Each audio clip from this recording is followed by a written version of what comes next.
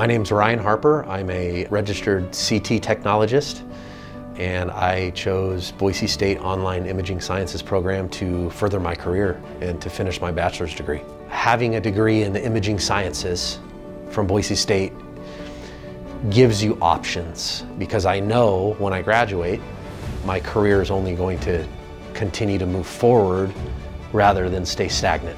This is my first experience with online classes and by far it's been my most enjoyable out of any college experience that I've had and I think partly it's given me the ability to be flexible. I've wanted to receive my bachelor's and finish for quite some time.